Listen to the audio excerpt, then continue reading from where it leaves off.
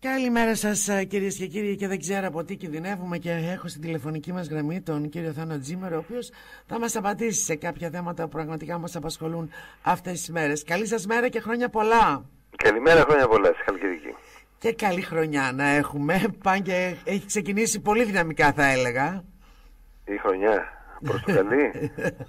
Όχι βέβαια. Λοιπόν, να σας απαντήσω από τι κινδυνεύουμε. Για πείτε. Από το ότι δεν δεχόμαστε να αναλάβουμε τις ευθύνες μας. Από το ότι Αυτό είναι τελικά συνεχώς, ίδιο του Έλληνα θα έλεγα. Από το ότι θέλουμε συνεχώς να είμαστε στην κυδαιμονία κάποιου από τον οποίο να ζητάμε σαν μικρά παιδιά σοκολάτα και αν δεν μας τη δίνει να τον χτυπάμε και να λέμε δεν με αγαπάς. Αυτή είναι η πολιτική του Έλληνα και η πολιτική των κυβερνήσεων. Χρόνια τώρα, όχι μόνο σήμερα, όχι μόνο επί ΣΥΡΙΖΑ δηλαδή. Ναι. Ναι. Πάντα κάποιοι δηλαδή μας επιβουλεύονται ή κάποιοι μας αγαπούν ή κάποιοι μας συμπαθούν. Έχουμε την νοοτροπία του αιωνίου βρέφους ή έστω εφήβου στην επανάστασή του. Λοιπόν, ε, συμφωνώ μαζί σας ε, πάνω σε αυτό ε, γιατί το, το διαπιστώνω και στις προσωπικές μας σχέσεις και ως λαός δηλαδή λειτουργούμε κάπως έτσι. Πάντα φταίνε οι άλλοι. Ναι, μια, που λέτε, ναι, μια που λέτε προσωπικές σχέσεις, συγγνώμη που σας διακόπτω, αλλά ε, αν δείτε τα τραγούδια που τραγουδάει ο Έλληνας, ναι. είναι τραγούδια στα οποία αυτός είναι ο άψογος και ο άλλος ναι. είναι αυτός που τον πρόδωσε, αυτός που δεν τον κατάλαβε. Έτσι, έτσι. αυτή συνήθως είναι η γυναίκα αυτή που πρόδωσε. Εγώ σε ναι. αγαπούσα, ας πούμε, έκανα τα πάντα για σένα, αλλά εσύ με έφτισες. Το να καθίσει να σκεφτεί για ποιον λόγο τα πάντα που έκανε δεν έγιναν αποδεκτά. Mm-hmm. Μήπως έκανε κάτι λάθος. Ναι. Μήπως έδωσε πράγματα που άλλος δεν ήθελε. Μήπως η συμπεριφορά του ήταν ε, εντελώς ε, αντίθετη από το επιδιωκόμενο. Αυτό δεν περνάει από το μυαλό μας. Δηλαδή εμείς είμαστε άψογοι και ο άλλος είναι αυτός ο οποίος αποδεικνύεται σκάρτος. Ε, με αυτόν τον τρόπο δεν πάμε μπροστά ούτε στις προσωπικές σχέσεις ούτε στις εθνικές πολύ φοβάμαι. Και πώς μπορεί ένας τέτοιος λαός που έχει μάθει με αυτόν τον τρόπο να λειτουργεί να αλλάξει πια πορεία; Ε, είναι ένα θέμα. Δεν είναι εύκολο, όμως έχει γίνει στο παρελθόν και έχει γίνει από πολύ πιο δύσκολες περιπτώσεις. Συνηθίζω να αναφέρουμε στο παράδειγμα της Εστονίας. Βέβαια, το παράδειγμα όλων των πρώην δεν είναι Έλληνες στο, όμως Σοβιετικών... Ε, δεν έχει σημασία, είναι χειρότεροι από Έλληνες. δηλαδή ήταν χειρότεροι από Διότι ο Έλληνας δεν έχει ένα, ας πούμε, μια νοοτροπία γραμμένη στο DNA. Ε, να, πω για την Εστονία και για τις πρώην Σοβιετικές Δημοκρατίες, οι οποίες φύγαν από μια διαλυμένη οικονομία, μια διαλυμένη χώρα, στην πραγματικότητα φτιάξαν τη χώρα τους από το μηδέν και την κοινωνία τους από το μηδέν και την οικονομία από το μηδέν. Αλλά τα κατάφεραν πολύ γρήγορα. Δηλαδή η Εστονία μέσα σε δύο χρόνια από μια χώρα που είχε ουρές με δελτίο να περιμένουν να πάρουν λίγο ψωμί και λίγο τυρί ας πούμε για να μην λιμοκτονήσουν έγινε μια από τις καλύτερες και τις δυναμικότερες οικονομίες του κόσμου, όχι της Ευρώπης, όχι των πρώην Σοβιετικών Δημοκρατιών, του κόσμου. Δηλαδή η Εστονία είναι σήμερα έκτη στην παγκόσμια κατάταξη οικονομικής ελευθερίας και η Ελλάδα είναι εκατοστή, εικοστή, έβδομη. Άρα κάπως γίνεται αυτό. Το πώς γίνεται είναι απλό και η δημιουργία ξανά το έχει πει, το λέει από το 11 δεν διορθώνεις με μερεμέτια ένα σπίτι που καταραίει. Δηλαδή ο μεγάλος ασθενής στην Ελλάδα είναι το δημόσιο. Ναι. Είναι η αντίληψη που έχουμε ότι το δημόσιο είναι εκεί, χρειάζεται αυτά τα χρήματα ε, και εσύ φορολογούμενε, ναι. εσύ φορολογούμενε σκίσου να τα δώσεις, είτε έχεις είτε δεν έχεις, είτε σου δημεύσω το σπίτι είτε δεν σου το δημεύσω, θα τα δώσεις όλα, γιατί εμείς έχουμε αυτό το μέγεθος, αυτούς τους κομματικούς στρατούς, πρέπει να τους σητίζουμε, έχουμε αυτούς τους συνταξιούχους που είναι από 32 χρονών συνταξιούχοι, πρέπει να τους σητίζουμε και εσύ πρέπει να τα πληρώσεις. Δεν είναι αυτός ο τρόπος με τον οποίο φεύγει ένα κράτος από την ύφεση. Τους οποίους ανδρώνουμε ακόμα πάλι, έτσι. Βεβαίως. Ξαναμπαίνουμε πάλι στις διαδικασίες αυτές. Τι κάνανε λοιπόν οι Εστονοί, είπαν απλή γραμμική φορολογία. Δηλαδή όσα και να βγάζεις με το ίδιο ποσοστό θα σε φορολογώ. Για να μην έχεις κίνητρο να κρύψεις εισόδημα, να φτιάξεις εταιρείες offshore, τριγωνικές συναλλαγές, εταιρείες μέσα σε εταιρείες άλλες, ξέρω εγώ, μόρυθμες, τερόρυθμες, να πληρώνεις φοροτεχνικούς να σου πούν πώς θα κρύψεις εισόδημα, γιατί αυτό στην πραγματικότητα είναι η δουλειά του φοροτεχνικού, έτσι δεν είναι. Νόμι, νόμιμος τρόπος ε, αποφυγής φορολογίας. Αυτοί λοιπόν είπαν γραμμική φορολογία. Αν βγάζεις λίγα θα φορολογείς σε, λίγα, αλλά με το ίδιο ποσοστό. Περισσότερα, περισσότερα, αλλά με το ίδιο ποσοστό. Και αναγνωρισμένα όλα τα έξοδα. και λειτουργήσε καταπληκτικά. Διότι αν αύριο πει ο Υπουργός Οικονομικών, αν ήταν η δημιουργία ξανά κυβέρνηση, θα το έλεγε το βράδυ των εκλογών. Αν πει ότι από εδώ και μπρος φορολογία σε όλους 12%. Γραμμικός φόρος. Χωρίς κλίμακες. Ναι. Ανεξαρτήτως ύψους δηλαδή. 12%. Επίσης αναγνωρίζονται όλα τα έξοδα. Όλα. Όλα τα πάντα. Ακόμα και τα έξοδα που θα κάνεις ξέρω για τη διασκέδασή σου. Τα πάντα. Διότι είναι έξοδα. Φεύγουν από την τσέπη σου. Mm-hmm. Πληρώνεις ΦΠΑ για αυτά. Εμείς προτείνουμε ΦΠΑ με δύο κλίμακες 9 και 15% και τελειώσαμε. Τόσο απλά, δηλαδή όλος ο οικονομικός νόμος σε τρεις αράδες. Ούτε ειδικέ κατηγορίες, ούτε ειδικέ εξαιρέσεις, ούτε επιδοτήσεις, ούτε ξέρω εγώ προνομιούχοι, τίποτα. Προνομιούχοι οι πάντες με την έννοια ότι θα δουλεύουν και θα τους μένουν τα χρήματα στην τσέπη. Και αυτό θα αυξήσει τα φορολογικά έσοδα. Διότι η υπερβολική φορολόγηση οδηγεί στο να αποκρύπτεις εισόδημα, γιατί αλλιώς δεν μπορείς να ζήσεις και οδηγεί στο να κλείνουν εταιρείε ή να φεύγουν στο εξωτερικό. Άρα με μία κίνηση εξαφανίζεται τη φοροδιαφυγή διότι την καθιστάς στα σύμφορη. Γιατί όμως δεν το κάνουν κύριε Τζίμερ αυτό; Διότι αυτό έχει μια μικρή κοιλιά. Δηλαδή, δηλαδή αν αυτό εφαρμοστεί σήμερα ναι. θα πρέπει να περικόψεις άμεσα κάποιες κρατικές δαπάνες μεγάλες. Θα αποδώσει σε έξι μήνες θα αρχίζει να φαίνεται αλλά στα δύο χρόνια θα είναι η απόδοση του. Τα δύο χρόνια είναι το μέσο, ας πούμε, μιας ε, κυβέρνησης. Και γιατί αυτό δεν μας το προτείνει έστω η Ευρωπαϊκή Ένωση, δεν το βλέπει; Πώς δεν μας το πρότεινε, από την πρώτη στιγμή μας το πρότεινε, από το πρώτο μνημόνιο. Η, η φοροκαταιγίδα δεν ήταν επινόηση της Ευρωπαϊκής Ένωσης. Ήταν επινόηση των ελληνικών κυβερνήσεων. Από την πρώτη στιγμή, γι' αυτό ακούσατε ποτέ να συζητιούνται ας πούμε οι όροι του μνημονίου ε, ένας, ένας προς έναν. Ποτέ. Διότι δαιμονοποιήσαμε συνολικά κάτι το οποίο θα έπρεπε να το είχαμε υιοθετήσει δεδομένου ότι αυτά που ανέφερε το πρώτο μνημόνιο και τα υπόλοιπα ναι. υπήρχαν στις εξαγγελίες των πολιτικών κομμάτων, όλων των πολιτικών κομμάτων χρόνια τώρα. Δηλαδή μηχανογράφηση στο δημόσιο ας πούμε. Ναι. Ηλεκτρονική υπογραφή στο δημόσιο. Ορισμός χρήσεων γης. Απλοποίησης των αδειοδοτήσεων για παράδειγμα. Όλα αυτά υπήρχαν. Αλλά δεν έγιναν ποτέ διότι από αυτά τρέφεται ένας ολόκληρος στρατός κομματικών παρατρεχάμενων. Δηλαδή το δημόσιο έχει αλωθεί από τα κόμματα, άνθρωποι που δεν θα είχαν δουλειά ούτε για κλητήρες, ούτε για θηροροί, είναι με μισθάρες ας πούμε και θεσάρες στο δημόσιο και αυτοί στηρίζουν τα κόμματα τα οποία τους τρέφουν. Αυτός είναι ένας μηχανισμός που δεν χτυπιέται εκ των έσω. Γιατί πολλοί λένε ότι ναι, να μπει σιγά σιγά το σύστημα, στο σύστημα και μέσα θα το χτυπήσεις. Υπήρξαν στο παρελθόν στην πρόσφατη ελληνική ιστορία πάρα πολλοί άξιοι άνθρωποι και της Νέας Δημοκρατίας και του Πασόκ και της Αριστεράς οι οποίοι προσπάθησαν να το αλλάξουν αυτό το πράγμα. Οι οποίοι και αποχωρούν. Και, και τα ε. ίδια, τους πέταξαν έξω ναι. τα ίδια τους τα κόμματα. Τα ίδια τους τα κόμματα τους θεώρησαν από συνάγωγους. Δρόμο, χαλάτε την πιάτσα. Το χτυπάς λοιπόν μόνο να έξω. Κάποιος ο οποίος θα πει ότι κοιτάξτε να δείτε, θέλετε να σας πω μερικά νούμερα τα οποία εμείς τα λέμε από το 11, αλλά θα τα ξαναλέμε και θα τα ξαναλέμε μέχρι να τα καταλάβουν οι Έλληνες. Μερικά απλά νούμερα. Πόσα μπαίνουν στο Ταμείο του Κράτους από τον έμφυα; 2,65 δις το χρόνο. Και ναι. τι έχει προκαλέσει ο έμφυα. Κατάρρευση της κτηματαγοράς, διώξιμου στο εξωτερικό χιλιάδων επαγγελμάτων που σχετίζονται με την οικοδομή, πτώση της τιμής των ακινήτων. Ε, τεράστια ζημιά. Και βάζει 2,65 δις το χρόνο στα ταμεία του κράτους τι μπαίνουν στα ταμεία του κράτους από την φορολογία νομικών προσώπων; Όλων των επιχειρήσεων. Δηλαδή από τη μεγαλύτερη βιομηχανία που υπάρχει στην Ελλάδα, πόσες είναι ακόμα, κλείνουν και αυτές, μέχρι τον Περιπτερά. Πόσα βάζεις στο ταμείο; 2,6 δις. Να τα αθρήσουμε. Είναι 5,25. Και τι πληρώνει το κράτος για πρόορες συντάξεις; Για πρόορες, προσέξτε, όχι για συντάξεις ε, για θέματα υγείας. Για πρόορες. Τι πληρώνει; 9 δις το χρόνο.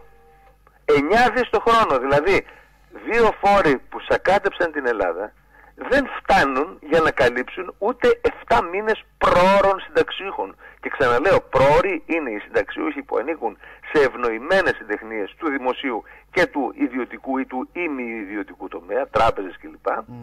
Κυρίως δέκο όμως, δέκο και υπουργεία, οι οποίοι βγαίνουν στη σύνταξη από τα 40, 45, 50, 55 μέχρι εκεί οι άλλοι του ΙΚΑ ή του ΤΕΒΕ, η πλέμπα, εγώ δηλαδή που δουλεύω από 12 χρονών και έχω ένσημα από 17 χρονών, θα βγω στη σύνταξη στα 67 και ποιος ξέρει τι θα πάρω. Αλλά ο άλλος θα βγει από τα 50-55 ας πούμε, παίρνοντας ένα εφάπαξ το οποίο αντιστοιχεί σε, στις καταβολές που έδωσε για το σύνολο της ασφάλισης του τρεις φορές, μόνο το εφάπαξ. Και αυτοί πρέπει να συντίζονται. Ε, εάν κάποιος δεν πει, ρε παιδιά, θα δώσω συντάξεις ανάλογα με τα όσα πληρώσατε. Γιατί αυτό ακούμε. Μα εγώ αυτά τα χρήματα τα έδωσα. Αν δεν τα έδωσες, δεν τα έδωσες. Για μέτρα τι έδωσες, για μέτρα τι πήρες. Θα δώσω λοιπόν συντάξεις ανάλογα και αυτοί με... που δώσαν όμως και δεν παίρνουν τα ανάλογα; Γιατί αυτοί... υπάρχουν κάποιοι που έχουν δώσει, έτσι; Αυτοί που δώσαν και δεν παίρνουν τα ανάλογα θα πάρουν τα ανάλογα. Αλλά πρέπει να ξέρουν και οι μεν και οι δε και εμείς που μιλάμε ότι το σύστημα για το οποίο μιλάμε τώρα, δηλαδή δίνω και παίρνω ανάλογα, λέγεται ανταποδοτικό. Ανταποδοτικό σύστημα ποτέ δεν είχαμε στην Ελλάδα. Είχαμε ένα κλεπτοκρατικό αναδιανεμητικό. Τι θα πει αναδιανεμητικό; Πυραμίδα. Αεροπλανάκι που λένε οι, mm. οι μαφιόζοι. Δηλαδή η μία γενιά πληρώνει την άλλη. Αυτά που έδωσα εγώ σε όλη μου τη ζωή για ασφαλιστικές εισφορές δεν πήγαν σε έναν προσωπικό κουμπαρά από τον οποίο να παίρνω χρήματα. Πήγαν για τις συντάξεις των προηγούμενων και για τις λαμογές των κυβερνήσεων. Άρα εγώ τι περιμένω όταν θα βγω στη σύνταξη να υπάρχουν χρήματα στο ταμείο από τους ασφαλισμένους εκείνης της εποχής και να μην έχει καταρρεύσει η Ελλάδα για να μπορώ να πάρω κάτι από τους ασφαλισμένους εκείνης της εποχής. Αυτό είναι κλεπτοκρατικό σύστημα. Εμείς προτείνουμε ο καθένας να έχει τον ατομικό του προσωπικό ασφαλιστικό κουμπαρά. Θα μπαίνουν εκεί τα χρήματα που βάζει για ασφαλιστικές φορές. Αυτός θα επιλέγει. Αυτός θα επιλέγει. Γιατί με υποχρεώνεις να ασφαλιστώ στο ΤΕΒΕ ας πούμε. Τι μου προσφέρει το ΤΕΒΕ. Ο ΑΕ ξέρω εγώ πώς έγινε. Τι μου προσφέρει; Μου προσφέρει τη δυνατότητα να έχω μια αξιοπρεπή ας πούμε, περίθαλψη υγείας; Όχι, βέβαια. Όχι. Άσε με λοιπόν να διαλέξω. Χωρίζουμε τις παροχές υγείας από τις συνταξιοδοτικές παροχές. Είναι δύο διαφορετικά πράγματα. Μπορεί κάποιος να θέλει πολλές παροχές υγείας ναι. και να μην έχει ανάγκη τόσο για σύνταξη. Μπορεί να έχει ξέρω μια καβάτσα. Αλλά να θέλει κάθε φορά που αρρωσταίνει να έρχεται να τον παίρνει λιμουζίνα θα πρέπει να, να επιλέξει. επιλέγει δηλαδή. Ακριβώς. Ναι. Και να διαλέγει τον ασφαλιστικό του φορέα. Είτε ναι. είναι δημόσιος είτε είναι ιδιωτικός. Ναι. Το κράτος θα υποπτεύει την λειτουργία των ιδιωτικών φορέων για να μην γίνει καμιά περίπτωση σαν την ασφαλιστική Αλλά ένα κράτος το οποίο έχει χρεοκοπήσει όλους τους δικούς του ασφαλιστικούς οργανισμούς είναι σε θέση να, υποπτε... να υποπτεύσει έναν ιδιωτικό; Όχι βέβαια. Απλά ναι. πράγματα. Ναι. Για να γίνουν όμως αυτά θα πρέπει να πας κόντρα με το σύνολο του πολιτικού συστήματος, του οικονομικού συστήματος, γιατί την Ελλάδα τη διοικούν οι δημοσιογράφοι, τα μεγάλα ΜΜΕ, τα συγκροτήματα, ναι. οι πολιτικοί και οι ολιγάρχες. Και έναν τζίμερο ας πούμε που είναι αντίθετος και στα τρία, μια δημιουργία ξανά που είναι αντίθετη και στα τρία, και όχι μόνο εμείς, είναι και άλλοι άνθρωποι που λένε τα στοιχειώδη, μας αποκλείουν παντελώς από τα κεντρικά ΜΜΕ, τα οποία φιλοξενούν συνεχώς χαβαλέδες, ανθρώπους δηλαδή ποινικού ή ψυχιατρικού ενδιαφέροντος και σας ευχαριστώ που έχω τη δυνατότητα να μιλάω μαζί σας. Ε, νομίζω ότι τα περιφερειακά μέσα κάνουν καλύτερη δημοσιογραφία διότι έχουν, αφήνουν τουλάχιστον σε όλους δίνουν ένα μικρόφωνο. Εγώ δεν νομίζω, είμαι σίγουρος, διότι σοβαρές κουβέντες έχω κάνει μόνο με περιφερειακά μέσα. Τα κεντρικά ΜΜΕ είναι στο κυνήγι της ατάκας. Επειδή μία ατάκα ή ένας καυγάς τηλεοπτικός μπορεί να φέρει τηλεθέαση και η τηλεθέαση θα φέρει διαφημίσεις και θα φέρει κλικς και όλα αυτά θα μπουν στην τσέπη του ιδιοκτήτη, γι' αυτό στείνουν τις κουβέντες με τέτοιον τρόπο ώστε να προκαλούνται επεισόδια. Εδώ και έξι χρόνια που είμαστε στην πολιτική σκηνή τους λέμε ρε παιδιά, γιατί δεν κάνετε θεματικές συζητήσεις; Και να φέρετε ανθρώπους γνώστες, ειδήμονες, επαΐοντες, Δηλαδή να μιλήσετε ας πούμε για τις τράπεζες και τα κόκκινα δάνεια για την ανακεφαλοποίηση των τραπεζών. Πώς καλέ, για... καλ, καλούνε, πώς δεν καλούνε, δεν μιλάνε για αυτά τα θέματα. Όχι, δεν θα καλέσετε τον πολιτικό. θα καλέσετε έναν γνώστη του τραπεζικού συστήματος. και ένας γνώστης θα είναι από την πλευρά της Νέας Δημοκρατίας, του Πασό, ναι, ξέρω εγώ. Αυτοί δεν έχουν ενδιαφέρον έτσι, για τη τηλεθέαση.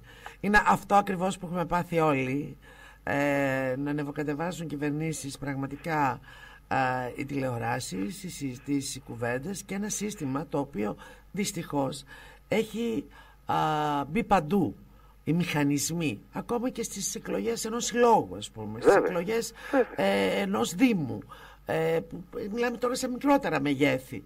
Έτσι. Ε, εμένα μου κάνει τρομερά, τρομερά, τρομερή εντύπωση όλο αυτό και πραγματικά διαπιστώνω και βλέπω ανθρώπους οι οποίοι θα μπορούσαν να ασχοληθούν και να κάνουν πράγματα για αυτόν τον τόπο που λέγεται Ελλάδα, για αυτόν τον τόπο που λέγεται Μουδανιά, για αυτόν τον τόπο που λέγεται Χαλκιδική, για τον οποιοδήποτε τόπο. Βλέπεις προσωπικότητες, ανθρώπους οι οποίοι πραγματικά έχουν λόγο, δεν συμμετέχουν. Βεβαίως. Δείτε ας πούμε τι προτείναμε εμείς για τις δημοτικές εκλογές. Να εκλέγεται ο Δήμαρχος σε ξεχωριστό ψηφοδέλτιο, δηλαδή όλοι οι υποψήφοι δήμαρχοι να είναι σε ξεχωριστό και να διαλέγω αυτόν που θεωρώ ότι είναι καταλληλότερος και οι δημοτικοί σύμβουλοι να εκλέγονται όλοι μαζί σε ξεχωριστό ψηφοδέλτιο. Ώστε να μην πεις, Α, εγώ θα μπω σε αυτόν, ναι, αλλά αυτόν το στηρίζει αυτό το κόμμα και εγώ το δεν τα πάω τόσο καλά με αυτό το κόμμα, άρα δεν θα μπω. Κάθε άνθρωπος που ε, θέλει αυτό να. Μετά να... όμως ε, ε, στη, στην πράξη μπορεί να λειτουργήσει. Μια χαρά. Μια χαρά. Διότι θα, θα ψηφίζουν και οι πολίτες ανθρώπους συνενετικούς, όχι φανατισμένους. Διότι τα προβλήματα ενός Δήμου ε, δεν είναι κατεξοχήν πολιτικά, είναι προβλήματα διαχείρισης της καθημερινότητας. Βεβαίως, βεβαίως. Δηλαδή πώς θα, πώς θα στρώσει έναν δρόμο; Η καθημερινότητα όμως, ναι. έτσι. Έχει, έχει προβλήματα η καθημερινότητα στους Δήμους. Έχει προβλήματα, αλλά αυτά δεν έχουν ταξικό πρόσημο που λέει ο Τσιπράκος ή πολιτικό πρόσημο. Δηλαδή πώς θα φτιάξεις ένα πάρκο ας πούμε, πώς θα ε, κλαδέψεις τα δέντρα, πώς θα στρώσεις το δρόμο, πώς θα μαζέψεις τα σκουπίδια. Αυτά είναι θέματα διαχείρισης. Και κάθε σοβαρός άνθρωπος θα πει ότι θα προσπαθήσω να το κάνω με τον καλύτερο τρόπο και με τη φτηνότερη τιμή. Αυτό θα ναι. πει. Δεν θα πει ότι εγώ έχω ταξικό πρόσημο όπως έλεγε η Δούρο ας πούμε ότι αλλιώς μαζεύουν τα σκουπίδια οι μνημονιακοί και αλλιώς οι μνημονιακοί και είδαμε πώς τα μαζεύει η ίδια που δεν τα μαζεύει καθόλου. Έτσι. Επομένως, με αυτόν τον τρόπο θα μπορούσαν όλοι οι σοβαροί άνθρωποι να μπουν σε ένα ψηφοδέλτιο, να ψηφιστούν επίσης για τη σοβαρότητά τους και όχι για το κόμμα στο οποίο ανήκουν ή το οποίο στηρίζει τον συνδυασμό στον οποίο συμμετέχουν. Και οι πρόεδροι, οι υποψήφοι δήμαρχοι να είναι και ξεχωριστά.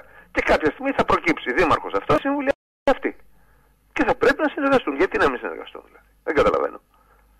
Όσοι δεν μπορούν να συνεργαστούν γιατί του μυρίζουν άσχημα τα χνότα του άλλου επειδή προέρχεται από άλλον κομματικό συνδυασμό να απομακρύνονται από την πολιτική σιγά σιγά. Αλλά είναι οι θεσμοί οι οποίοι οδηγούν σε αυτές τις λύσεις. Δηλαδή εγώ σας πρότεινα μια πολύ απλή αλλαγή με ένα πολύ απλό νόμο και είναι όριμη η κοινωνία γι' αυτό. Μπαχ, μπορείτε να δείτε από τις ανταποκρίσεις των ακροατών σας, ας πούμε, από τις κουβέντες που θα κάνετε. Όλοι το, όλοι το θέλουν αυτό. Τι κάνει αυτό όμως; Σπάει την εξάρτηση των κομμάτων από, ή μάλλον την εξάρτηση των τοπικών Έτσι. παραγόντων από τα κόμματα. Έτσι. Και αυτό δεν το θέλουν τα κόμματα, δεν το θέλει η κομματοκρατία. Διότι θέλουν τους τοπικούς άρχοντες υποχείριά τους και ομήρους. Θα σου δώσω χρήματα. Άμα είσαι καλό παιδί θα σου δώσω. Αν μου κάνεις τα χατέρια θα σου δώσω. Αν δεν μου τα κάνεις δεν θα σου δώσω. Εμείς ναι, λέμε επίσης αυτό τα χρήματα... Αυτό βοηθάει τελικά και το είδαν και στην πράξη και οι ίδιοι τους όλο αυτό το πράγμα που φτάσαμε ε, μέχρι σήμερα. Βέβαια. Λέμε τα, τα χρήματα της περιφέρειας να μένουν στην περιφέρεια. Δηλαδή να γίνεται όπως σε όλα τα σοβαρά κράτη που υπάρχουν τρία επίπεδα φορολογίας. Αλλά όχι να τα προσθέτεις και τα τρία και να φτάνεις ας πούμε στο 80%. Δηλαδή το κράτος να έχει έναν μικρό φόρο που να αφορά τις βασικές κρατικές δαπάνες, στρατό, αστυνομία, ξέρω εγώ, δημόσια διοίκηση, αλλά δημόσια διοίκηση με ένα μικρό ευέλικτο κράτος, ένα, ένα κράτος το οποίο δεν θα έχει στρατούς, αλλά θα σου προσφέρει υπηρεσίες και θα λέει, κοιτάξτε, πολίτη πήρα αυτά τα λεφτά από σένα και αυτές τις προσφε... υπηρεσίες σου προσέφερα. Και επειδή ανακάλυψα την πληροφορική με 30 χρόνια καθυστέρηση και μπορεί ας πούμε τις αιτήσεις να τις κάνεις κατευθείαν από το κινητό ή από τον υπολογιστή σου ή αν είσαι παππούς και δεν μπορείς να σου στείλω έναν πιστοποιημένο πιτσερικά με το παπί να έρθει να σου το φτιάξει αυτό και να του δώσεις 5 ευρώ. Ναι. Αυτά τα πράγματα όλα οδηγούν σε μείωση του κόστους της δημόσιας διοίκησης κατά 40, 50, 80, 90%. Άρα σου μειώνουν τους φόρους. Κατά 90% βεβαίως, γιατί χρειάζομαι λιγότερα χρήματα για να λειτουργήσω. Θα υπάρχει, υπάρχει λοιπόν ένα επίπεδο φορολόγησης κρατικό, ένα άλλο επίπεδο περιφερειακό και ένα τοπικό. Και θα σου λέει ο Δήμαρχος ότι κοιτάξτε δημότες ας πούμε του Πολυγύρου, ξέρω εγώ, ή του Χαλανδρίου που είμαι εγώ, θέλουμε να κάνουμε αυτό. Θέλουμε ας πούμε να φτιάξουμε παιδικούς σταθμούς ώστε όλα τα παιδιά να πηγαίνουν σε παιδικούς σταθμούς και κανένα... Δεν παίρνουν ένα φόρο οι Δήμοι από τις επιχειρήσεις, από όλους έτσι και προσπαθούν να τα βγάλουν πέρα με αυτό. Ό, όλο, όλος ο κρατικός μηχανισμός παίρνει έναν φόρο ταβατζιλίδικο. Ναι. Δηλαδή παίρνω φόρο γιατί έτσι γουστάρω. Στην Αγγλία κάθε φορολογούμενος... Δεν έχουμε παίρ... όμως χρόνο πολύ. Παίρνει ένα γράμμα, ναι. ναι, ναι, αυτό να πω να καταλάβουν τη διαφορά. Παίρνει ένα γράμμα από το κράτος και του λένε αγαπητέ Τζίμερε, πλήρωσες αυτά τη χρονιά που πέρασε. Πλήρωσες, ξέρω εγώ, 10.000 ευρώ. Από τις 10.000 ευρώ, δεν ευρώ είναι λίρες στην Αγγλία. Από τις 10.000 λίρες ας πούμε ή τις 5.000 λίρες, 235,67 πήγαν εκεί. 2,4 πήγε εκεί. Εκεί, εκεί, εκεί, εκεί, εκεί. Και βλέπεις τι γίνεται. Και βλέπεις αν τα χρήματά σου έπιασαν τόπο. Και μπορείς να έχεις άποψη γι' αυτό. Πείτε μου όμως να μην τρώω το χρόνο. Ε, ναι. αυτά, αυτά γίνονται, ξέρετε. Ε, ε, εγώ δεν, δεν νιώθω καλά ως πολιτικός να γκρινιάζω και να λέω «Α, ο, ο, ο ΣΥΡΙΖΑ τι ψέματα είπε, ψέματα είπε, ψεύτες είναι ψέματα θα λένε». Τι ψέματα είπε η Νέα Δημοκρατία στο παρελθόν, τώρα πώς προσπαθεί ας πούμε να φανεί ότι είναι μια κυβέρνηση με ελπίδα χωρίς να σπάει κανένα αυγό. Εγώ λέω τι πρέπει να γίνει. Θέλουμε να μειώσουμε τη φορολογία, πρέπει να μειώσουμε κρατικές δαπάνες. Από πού μειώνονται οι κρατικές δαπάνες, δεν μειώνονται από τα χαρτιά και από τα μελάνια. Μειώνονται από τους μεγάλους λογαριασμούς. Δηλαδή μισθοδοσία δημοσίου, πρόορες συντάξεις. Αυτά. Μάλιστα.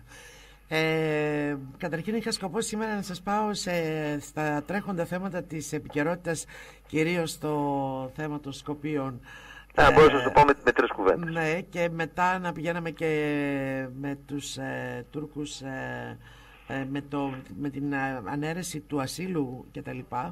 Αλλά δυστυχώς δεν προλαβαίνουμε. Αν θέλετε για το, αν μπορείτε με τρεις κουβέντες να μου πείτε όσον αφορά το, με το θέμα των Σκοπίων και το μακεδονικό γενικό. Ε, ακριβώς. Και εκεί δείχνει ότι δεν ξέρουμε πώς γίνεται σοβαρή η διπλωματία. Δηλαδή δεν κάθεσε άπραγος και ξαφνικά μια κυβέρνηση η οποία στις θέσεις της είχε το ότι εμείς τα Σκόπια θα τα αναγνωρίσουμε ως Μακεδονία. Αυτό πίστευε ο ΣΥΡΙΖΑ. Όσοι ψηφίσαν το ΣΥΡΙΖΑ αυτό το αγνόησαν. Και λένε καλώς τα πουλάκια μου, καλώς τα, τα Ιουσουφάκια του Ερντογάν. Αυτοί είναι πρόθυμοι για να μην χάσουν την καρέκλα να κάνουν τα πάντα. Μπορούν λοιπόν τα Σκόπια, αυτό που υποστηρίζαμε εμείς, να ονομάζονται όπως θέλουν για εσωτερική τους χρήση. Δηλαδή δεν μπορείς να απαγορεύσεις σε κάποιον να θεωρεί τον εαυτό του Μακεδόνα, να φορέσει μια πανοπλία και να κυκλοφορεί κρατώντας μια σάρισα κάθε μέρα. Αν θέλουν να γίνουν γραφικοί, τσίρκο ας πούμε, ας γίνουν. Δεν μπορούμε να τους απαγορεύσουμε. Άρα θα ονομάζονται όπως θέλουν για τον εαυτό τους και όλος ο κόσμος, η Ελλάδα και ο ΟΗΕ και όλα τα κράτη, θα τους αναγνωρίσουν με ένα όνομα που δεν θα περιέχει τον όρο Μακεδονία. Μέχρι να το αποδεχθούν. Αλλιώς αυτοί θα είναι απομονωμένοι.